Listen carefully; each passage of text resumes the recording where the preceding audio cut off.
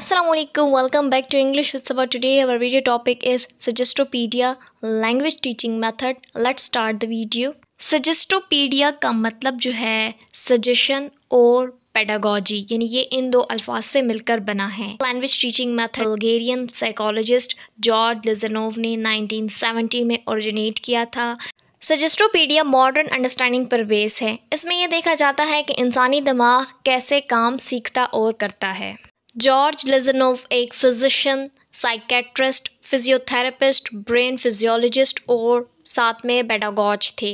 उन्होंने 50 साल से ज़्यादा जो है वो इस चीज़ पर रिसर्च की है कि इंसानी सलाहियत और हारमोनिक डेवलपमेंट किस तरह से अपेयर हो सकती है। सजेस्टोपीडिया एक ऐसा नेचुरल तरीका है टीचिंग और लर्निंग का और इसमें एक ख़ास किस्म की कम्युनिकेशन की जाती है जिसमें लव और डिलाइट महसूस होती है स्टूडेंट को। स्टूडेंट्स को बहुत प्यार से और कंफर्ट जोन में सिखाया जाता है ताकि टीचर्स जो हैं वो इस मेथड के थ्रू उनकी जो जितनी भी हिडन रिज़र्व्स हैं, उनको एक्सपोज कर सके। टीचर समझ जाए कि इस स्टूडेंट को कहाँ पे और कैसे मस्त है। ये मेथड एक ऐसा सेफ़ रिलैक्स्ड इन्वायरमेंट क्रिएट करता है, जहाँ पर लर्नर्स को कंफर्टेबल फील होता है, वो बहुत सिक्योर फील करते हैं। इसके साथ लर्निंग एक्टिविटीज़ जो हैं, वो ज़्यादातर ग्रुप सेटिंग में की जाती हैं और बहुत इंजॉयबल तरीके से डिज़ाइन किया जाता है उसको। म्यूज़िक ड्रामा विजुअल इमेजरी जैसे मेथड को यूज़ किया जाता है ताकि लर्निंग और भी इफ़ेक्टिव हो सके स्टूडेंट्स के लिए। ये मेथड ज़्यादातर फॉरेन लैंग्वेज के लिए यूज़ किया जाता है और पर्टिकुलरली इसमें कम्प्लेक्स टॉपिक्स को टीच किया जाता है जो कि ज़्यादा टाइम मेमोराइजेशन और अंडरस्टैंडिंग में लगाते हैं, जैसे कि मैथमेटिक्स और साइंस के सब्जेक्ट वगैरह। इस टाइप के मेथड में स्टूडेंट कभी भी अंडर प्रेशर नहीं हो सकते या कोई भी किस्म की फ्रस्ट्रेशन उनको नहीं होती। और सजेस्टोपैडिक लेसन जो होते हैं, उसमें स्टूडेंट्स बहुत स्मूथली सीख जाते हैं। वो ऐसे सीखते हैं जैसे उनको बचपन में सिखाया जाता था। किसी किस्म के होमवर्क की ज़रूरत नहीं होती क्योंकि जितना भी एक्विजिशन प्रोसेस है, वो क्लास में ही किया जाता है। इस मेथड में स्टूडेंट्स को टारगेट लैंग्वेज सिखाई जाती है और उनको इस काबिल बनाया जाता है कि वो इसको आसानी सीख सकें।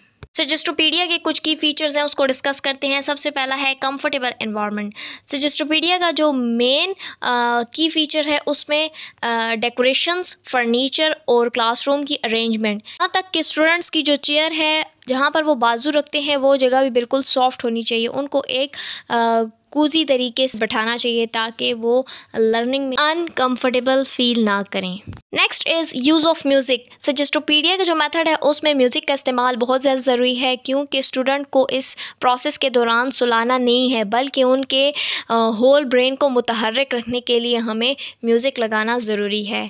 चाहे वो विकेबरली के साथ है या फिर किसी भी डायलॉग्स के साथ है। इसके बाद पेरिफरल लर्निंग आ जाती है। पेरिफरल लर्निंग का मतलब ये है कि वो कोई टीचिंग मेथड जो है, वो टीचर सेंटर या फिर लेक्चर सेंटर ना हो।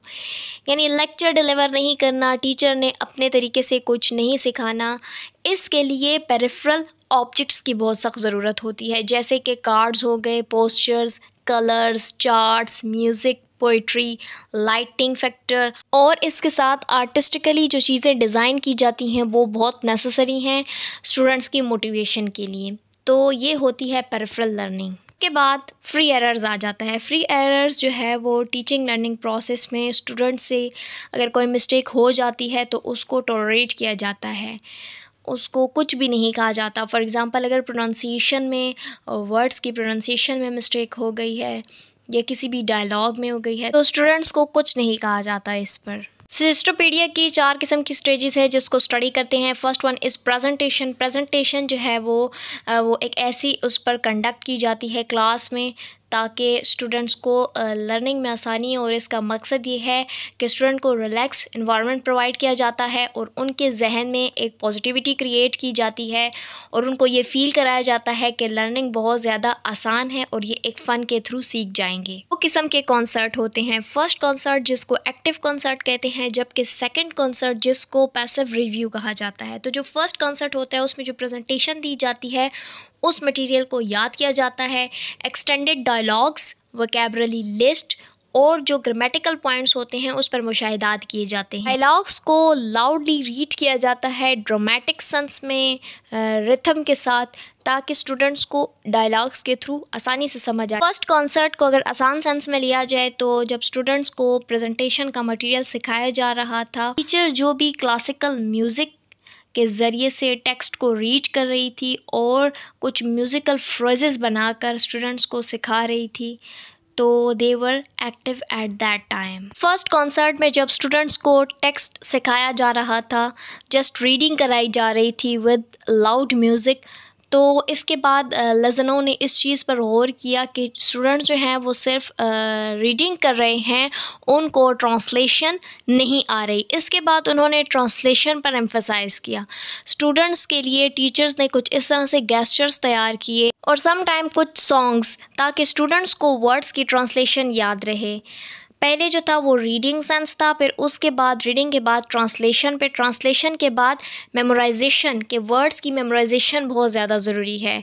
इस पर फोकस किया गया। Now second concert is the passive review और we can say that passive concert इसमें नज़रों ने देखा कि स्टूडेंट जो हैं वो रिलैक्स हैं। वो अपनी बुक को क्लोज कर कर बरूक म्यूज़िक को सुनना चाहते हैं, और वो सुनकर अपने टेक्स्ट को मेमोराइज करते हैं। तो ये जो बरूक म्यूज़िक है, वो 1600 से 1750 तक की सदी का था, जिसमें रेनेसा के पीरियड के क्लासिकल म्यूज़िक को रिथमेटिक टून बनाकर बैकग्राउंड में लगाया जाता ताकि स्टूडेंट्स को लर्निंग में आसानी हो। ये म्यूज़िक जो है वो स्पेशली सिलेक्ट किया जाता था कि स्टूडेंट को एक ऑप्टिमम मेंटल स्टेट पर लाया जाए और उनका जो एक्विजिशन प्रोसेस है, यानी लर्निंग का जो प्रोसेस है वो एफर्टलेस हो जाए। उनको उसमें मुशक्क़त ना करनी पड़े, सिर्फ़ रिथमेटिक टून के साथ जब डायलॉग्स अपेयर होते रहें तो ये आसानी से समझते रहें और इनको मेमोराइज रहे। फोर्थ स्टेज आ जाती है प्रैक्टिस की, जिसमें रोल प्ले गेम्स पजल्स के थ्रू रिव्यू दिया जाता है लर्निंग का। सजेस्टोपीडिया के ऑब्जेक्टिव को स्टडी करते हैं कि स्टूडेंट्स को एडवांस कन्वर्सेशन आनी चाहिए, उस पर उनको बूर हासिल हो। और इसका मेन मकसद ये है कि मेमोराइज़ ना कराया जाए, बल्कि अच्छे तरीके से समझाया जाए और स्टूडेंट्स को इस काबिल बनाया जाए कि वो अपने प्रॉब्लम्स को खुद सार्ट आउट कर सकें। अब आते हैं टीचर्स रोल की तरफ़। टीचर का क्या किरदार है? लजनों के मुताबिक कुछ इंपॉर्टेंट फैक्टर्स हैं जो कि टीचर को एक्वायर होते हैं। टीचर को अपना कॉन्फिडेंस शो करना चाहिए इस मेथड के दौरान। वो वेल मैनर्ड हो। लजनों का मकसद ये है कि as a professional on one hand and a personality on the other hand यानी टीचर को हाईली ऑनर्ड क्रेडिबल रिलायबल होना चाहिए। टीचर जो है, उसको प्रॉपरली ऑर्गेनाइज करना चाहिए और वो स्ट्रिक्टली ऑब्ज़र्व करे टीचिंग प्रोसेस की जितनी भी इनिशियल स्टेजेस होती हैं। और उसको एक संजीदा एटीट्यूड रखना चाहिए सेशन के लिए। मटेरियल को सजेस्टोपैडिक तरीके से ऑर्गेनाइज करे और टीचर को चाहिए कि वो अपने स्टूडेंट्स के साथ लव से पेश आएँ सेंटिमेंटली नहीं, लेकिन as a human being teacher को चाहिए कि वो पर्सनली पार्टिसिपेट करके स्टूडेंट्स को समझाए थ्रू गेम्स सॉन्ग्स या किसी भी किस्म का जो क्लासिकल आर्ट है, उसके ज़रिए से। अब स्टडी करते हैं, कुछ ऐसे टिप्स जो कि सजेस्टोपीडिया क्लास में अपनाए जा सकते हैं। जैसे कि establish a relaxed atmosphere suggestopedia में बेहतरीन काम के लिए स्टूडेंट के लिए रिलैक्स और कंफर्टेबल इन्वामेंट क्रिएट करना चाहिए। और वो इन्वामेंट ऐसा हो कि जिसमें कंफर्टेबल सीटिंग और डिम लाइटिंग का बेहतरीन इंतज़ाम किया हो। Second one is use music music जो है वो एक लाजमी हिस्सा है सजेस्टोपीडिया का। लर्निंग एटमोसफेयर जो है उसको रिलैक्स करने में मदद देता है। म्यूज़िक जो है वो अप्रोप्रिएट होना चाहिए, यानी लेसन के मुताबिक होना चाहिए, ताकि जो भी नया मटेरियल है उसको मुतारफ़ किया जा सके। विजुअल एड्स एक ऐसा तरीका है जिसको सजेस्टोपीडिया क्लास में हम इस्तेमाल कर सकते हैं। इससे स्टूडेंट को समझ भी आती है और उनके जहन में वो टेक्स्ट याद रहता है। ये जो है कलरफुल पोस्चर्स डायग्राम्स और किसी भी कॉन्सेप्ट को क्लियर करने के लिए एग्जाम्पल्स जो दी जाती हैं। Use role playing role playing वो होता है कि जहाँ पे स्टूडेंट को प्रैक्टिस करवाई जाती है कि जो सीन आप लोगों ने अभी पढ़ा है, उस तरह से रिएक्ट करें ताकि आपको वो मटेरियल याद रहे। Fifth one is utilise group work group activities एक ऐसा तरीका है जिसमें एक स्टूडेंट दूसरे के साथ इंट्रोडक्शन करके कॉन्सेप्ट को क्लियर करके उस वर्क को मेमोराइज कर सकता है। Six is provide positive reinforcement reinforcement जो है वो सजेस्टोपीडिया का एक बहुत इंपॉर्टेंट पार्ट है, जो कि उनकी मोटिवेशन में मदद देता है। इस प्रोसेस में स्टूडेंट को इनक्रेज किया जाता है, जो भी काम उनका सक्सेसफुली हो चुका हो, उस पर उनको अप्रिशिएट किया जाता है। सजेस्टोपीडिया के कुछ एडवांटेजेस की तरफ़ चलते हैं। First one is increase motivation and enthusiasm इस मेथड में ऐसी टेक्निक्स का इस्तेमाल किया जाता है, ताकि स्टूडेंट की लर्निंग इंजॉयबल हो और वो अपनी क्लासरूम में खुशी से इंगेज रहें। Second advantage is facilitates natural learning suggestopedia increase करती है स्टूडेंट को कि वो नेचुरली तरीके से सीखें कन्वर्सेशन और एक्टिविटीज़ के ज़रिए।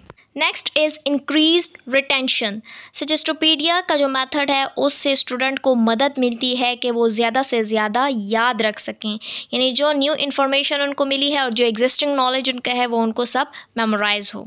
इम्प्रूव्ड कम्युनिकेशन स्किल्स इस मेथड के थ्रू स्टूडेंट इनक्रेज होते हैं कि वो एक दूसरे से कॉन्वर्सेशन करके अपने कम्युनिकेशन स्किल्स को स्ट्रॉन्ग बनाएँ। Better understanding of different cultures इस मेथड के ज़रिए स्टूडेंट इनक्रेज होते हैं कि वो मुख्तलिफ़ कल्चर्स की जो स्टडी है और उनके लैंग्वेजेस हैं, उसके बारे में सीख सकें। अगर हम इस मेथड के डिसएडवांटेजेस की तरफ़ चलें तो सबसे पहले हमारे जहन में कॉस्ट आती है।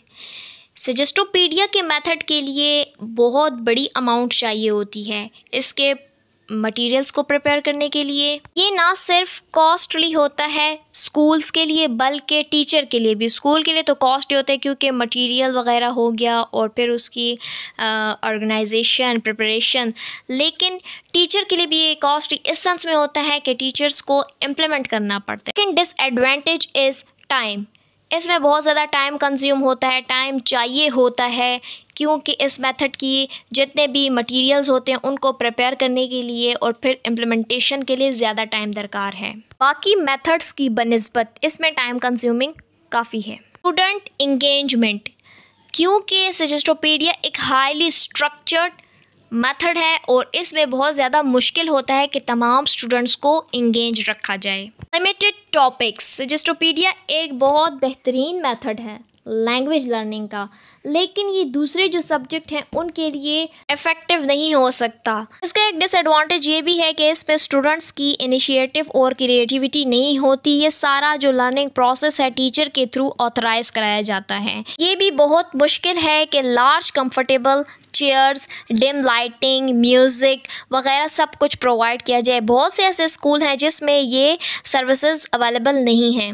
अगर इसके कंक्लूजन की तरफ़ आ जाएँ तो सजेस्टोपीडिया जो है वो एक valuable insights power of cognition और बहुत सी टेक्निक्स को क्रिएट करने में मदद देता है और ये स्टूडेंट को रिलैक्स कंफर्टेबल और सजेस्टेबल फील करवाता है। इस मेथड के थ्रू टीचर्स को बहुत से स्टूडेंट्स को फेस करना पड़ता है। टीचर जो है वो क्रिएटिव स्मार्ट होनी चाहिए ताकि वो डिफरेंट टाइप्स के जो मेथड हैं टीचिंग के और स्किल ऑफ़ लैंग्वेज चूज़ करके स्टूडेंट को एवरीथिंग क्लियर कर सकें। Suggestopedia language teaching method interesting होने के साथ साथ बहुत चैलेंजिंग भी है। ये था आज का लेक्चर जो कि सजेस्टोपीडिया लैंग्वेज टीचिंग मेथड पर बेस्ड था। मैंने अपनी तरफ़ से बहुत ही आसान अल्फाज में समझाने की कोशिश की है। एक ब्रीफ डिस्क्रिप्शन दी है इस कंटेंट पर। अगर वीडियो आपके लिए हेल्पफुल रही है तो मुझे कमेंट सेक्शन से ज़रूर आगाह करें और इसको अपने फ्रेंड्स के साथ भी शेयर करें ताकि उनके लिए भी इस मैथड को समझने में आसानी हो जाए। Thank you so much for for watching the video. Kindly subscribe my channel for such updates. If you like the video, please give huge thumbs up and uh, take care of yourself. See you soon. Allah Hafiz.